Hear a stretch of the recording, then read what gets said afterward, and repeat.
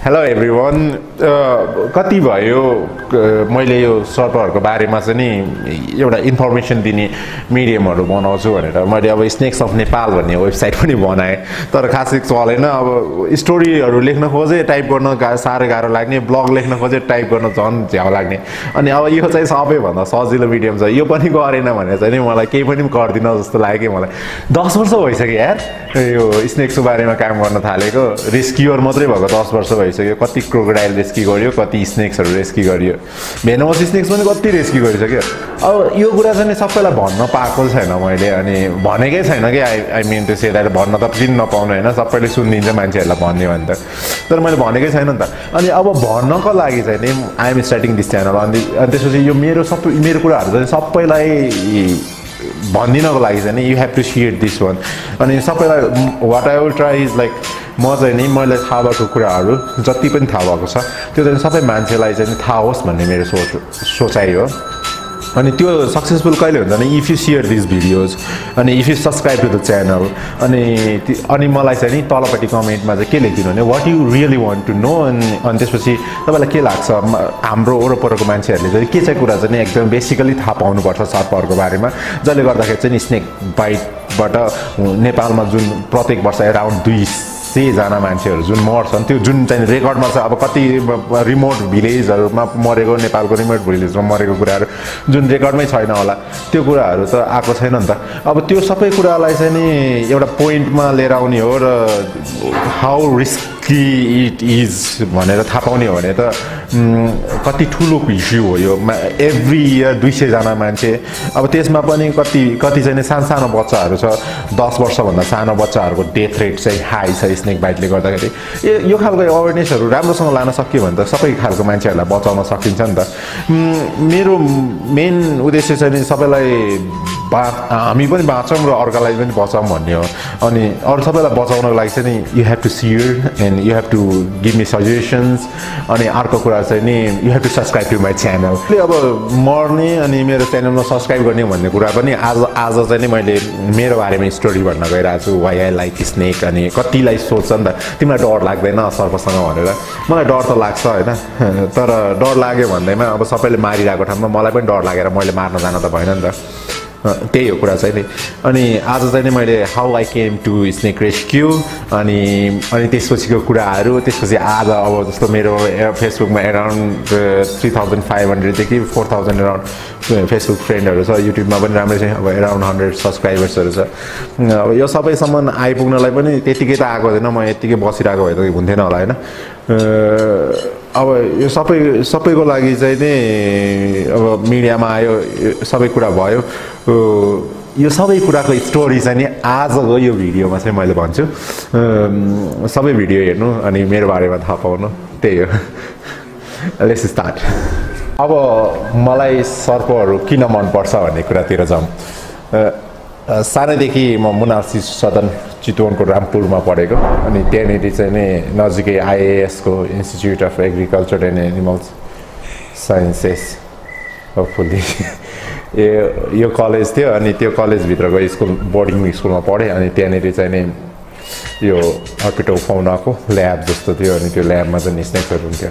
अनि मलाई चाहिँ यो ब्यान्डेड क्रेडको स्किनहरू देखेर एकदमै राम्रो लाग्थ्यो सर्पहरू सबै यस्तो राम्रो हुन्छ जस्तो लाग्थ्यो कि अनि त्यो त्यो हेर्दा हेर्दै चाहिँ नि लाइक मलाई सर्प एकदमै मन पर्न थाल्यो तर सुरु सुरुमा म सर्पहरू चाहिँ नि देख्ने बित्तिकै मार्ने गर्थ्यो अनि त्यो सर्प मार्दाखेरि चाहिँ नि गाउँतिरको मान्छेहरूले गाउँघरको मान्छेहरूले चाहिँ मलाई सर्प मार्नको लागि धेरै जस्तो मान्छेहरूले चाहिँ आफ्नो घरमा आएको सर्पहरूलाई मार्नको लागि चाहिँ मलाई बोलाउँथे अनि त्यसरी सर्पसँग नजिक चाहिँ त्यसरी हुँदै गएँ। तर पछि पछि हायर क्लासेसमा गइसकेपछि चाहिँ नि अब यो इकोलोजी पढ्न पढाइ हुन थाल्यो।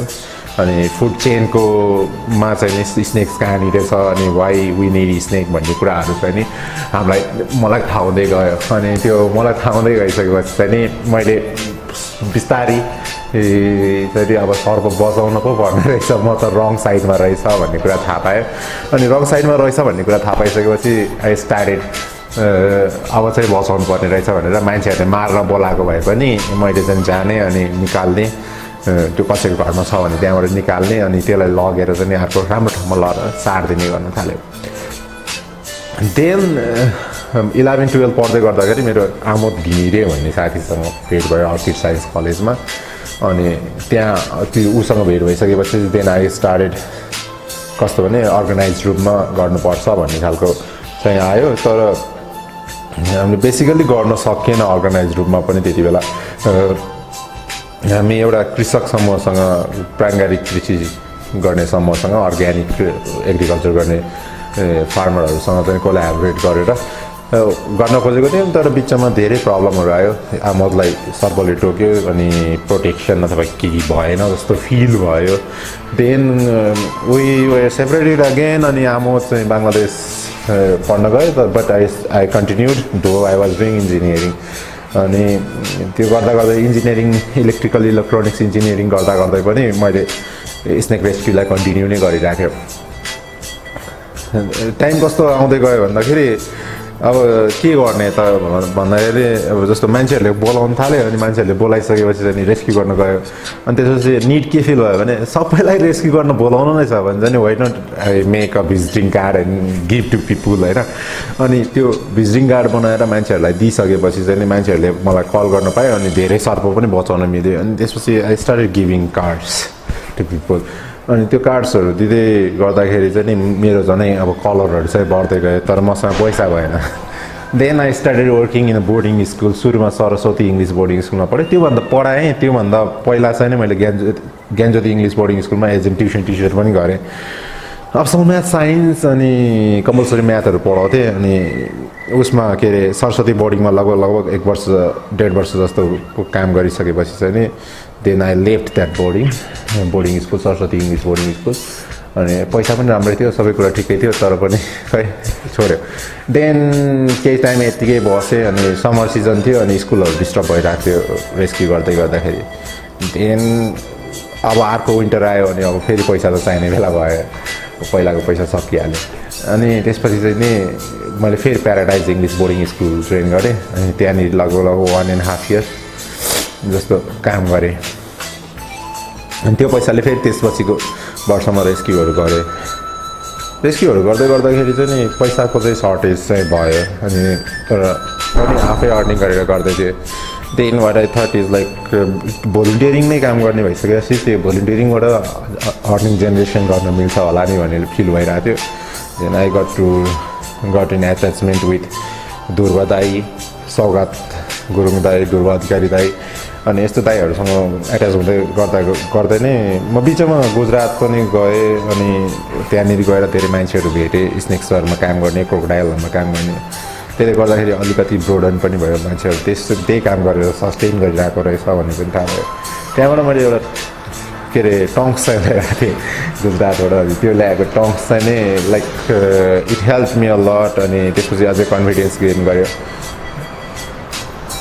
बेसिकल्ली मैले छुट्याएको बिचमा छुट्याएको कुराहरू चाहिँ कस्तो छ भने अब म लाइम लाइटमा जति धेरै रेस्क्यु गरेँ अराउन्ड सिक्स हन्ड्रेड रेस्क्यु गरिसकेको थिएँ त्योभन्दा अगाडि नै तर पनि नेसनल मिडियामा अनि मान्छेहरूले चिनी गरेर चाहिँ नै मलाई जब मैले किङ कोब्रा रेस्क्यु गरेँ चिटो नेसनल पार्कको छेउबाट I mean so I mean सौराबाट then only I came into the knowledge of people अनि मान्छेहरूले मलाई त्यसपछि मात्रै चिन्न थाल्यो। त्यसपछि मेरो फेसबुकमा चाहिँ फ्रेन्ड रिक्वेस्टहरू फ्लडेड हुन्थ्यो एभ्री डे अनि त्यो गरेपछि चाहिँ मैले लगातार रेस्क्यु गर्दै गएँ। तर त्योभन्दा अगाडि पनि धेरै मैले रेडियोहरूमा चाहिँ अवेरनेस गिभिङ स्पिचहरू अथवा इन्टरभ्यूहरू दिएको थियो।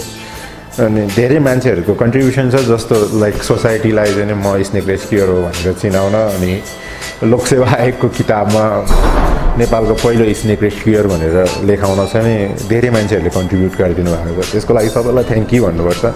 अनि आजको च्यानल आजको भिडियोमा चाहिँ मैले धेरै मेरै बारेमा गफ गरेँ।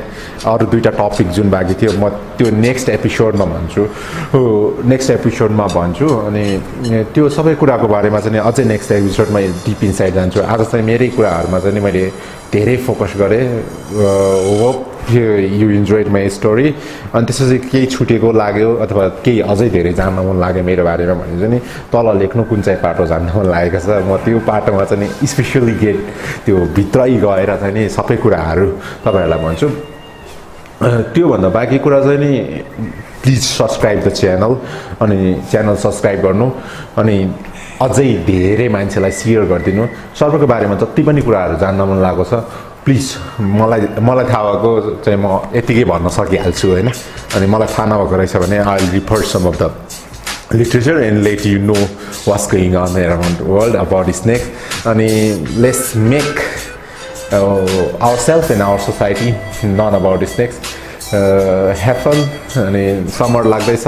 राम्रोसँग बेडहरू चेक गरेर सुत्नु सुत्नुभन्दा अगाडि ए कतै अँध्यारोमा कतै जाँदै हुनुहुन्छ भने जुत्ता लगाएर जाने गर्नु। र सर्वसँग पनि बाँच्नु पनि अरूलाई पनि बचाउनु। बाई